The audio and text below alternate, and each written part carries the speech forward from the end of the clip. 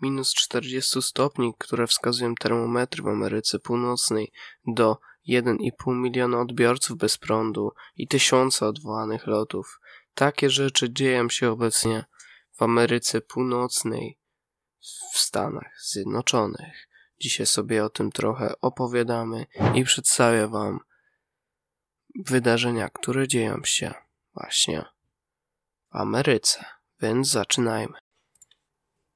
1,5 miliona odbiorców bez prądu, tysiące odwołanych lotów. W piątek wieczorem naszego czasu w Stanach Zjednoczonych energii elektrycznej było pozbawionych około 1,5 miliona gospodarstw i firm. Liczba odwołanych lotów cały czas rośnie. Według serwisu Flight Aware do i ze Stanów Zjednoczonych odwołano w piątek ponad 4100 lotów. Ponad 40% wylotów skasowano na lotniskach Seattle, Tacoma w stanie Waszyngton i Detroit Metro w stanie Michigan, a 18% wylotów odwołano w Chicago na lotnisku O'Yara, poinformowała agencja Reutera. Kilka tysięcy połączeń zostało opóźnionych. Śmiertelne wypadki oraz zamknięte autostrady. Skutki gwałtownej zimowej pogody odczuwają też użytkownicy dróg. Zamkniętych zostało kilka głównych autostrad na środkowym zachodzie. Department Transportu Dakody Południowej poinformował o zamknięciu w obu kierunkach autostrady międzystanowej. 29 odcinka od Six Falls do granicy z Dakotą Północną. Gubernator City Neum ogłosił w Dakocie Południowej stan wyjątkowy i postawił w stan gotowości Gwardię Narodową. Nieczynna jest również m.in. autostrada międzystanowa 90 w Minnesocie od autostrady międzystanowej 35 do granicy z Dakotą Południową. Niektóre odcinki kilku autostrad w Ohio musiały zostać zamknięte w nocy z czwartku na piątek z powodu kilku wypadków. Ponad minus 40 stopni Celsjusza. Już czwartek w Elk Park w stanie Montana temperatura wyniosła minus 46 stopni Celsjusza, a w Des Moines w stanie Iowa minus 38 stopni Celsjusza. W Denver w Colorado było najzimniej od 32 lat. Odnotowano tam minus 31 stopni Celsjusza.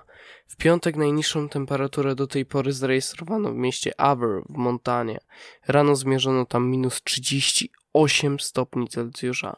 W wielu stanach w piątek, w najcieplejszych chwilach dnia, temperatura odczuwalna może sięgać około minus 30 stopni. W czwartek tylko wschodnie wybrzeże USA oraz Kalifornia pozostawały w dość ciepłym powietrzu.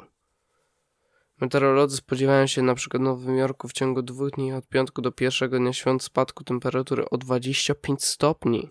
Temperatura ma spaść na niektórych obszarach z 10 do minus 15 stopni. Joe Biden o ostrzeżeniach meteorologicznych. Przed złymi warunkami pogodowymi ostrzegał prezydent Joe Biden. Jak mówił, burze śnieżne i skrajnie mroźna pogoda mogą zagrażać życiu. Od Oklahomy przez Wyoming po Maine skutki zimy będą naprawdę odczuwalne. Zachęcam wszystkich, słuchajcie lokalnych ostrzeżeń meteorologicznych. To nie jest zabawa w śnieżny dzień, jak wówczas kiedyś byłem dzieckiem. To jest niebezpieczne i groźne, podkreślał. Lokalne media mówią o tym, że tegoroczny świąteczny sezon podróży będzie najbardziej zdradliwy od dekad. W trasę dłuższą niż 80 km od domu wybiera się jednak 113 milionów ludzi, w tym 102 miliony ludzi drogami i autostradami. Niestety takie rzeczy obecnie dzieją się właśnie w Kanadzie oraz w Stanach Zjednoczonych. Stany Zjednoczone oraz Kanada muszą zmagać się z naprawdę ogromnymi mrozami, które obecnie się tam dzieją jak to nazwać, sytuacja odwróciła się, bo kiedyś u nas w Polsce można było zaobserwować naprawdę gigantyczne również mrozy, właśnie 30-40 lat temu, właśnie które też dochodziły do minus 30 stopni. Teraz jednak w USA, które nie jest jednak przyzwyczajone na takie warunki pogodowe, bo w USA zazwyczaj takie warunki pogodowe do tej pory nie występowały, musi zmagać się z takimi cyklonami. Jak to będzie dalej wyglądać, będę Was informował. Postaram się w najbliższym czasie więcej odcinków też robić na tym kanale. I możecie napisać, czy jesteście tam najedzeni po świętach, jak wam minęło ten okres świąteczny. A ja już co? Dziękuję wam za oglądanie i mam nadzieję, że następny rok będzie bardziej obfity w filmy niż ten. No, tak ostatnio wyszło, że bez filmu było dwa miesiące, ale starałem się wam urozmaicać cały czas ten kanał shortsami, innymi typu treściami.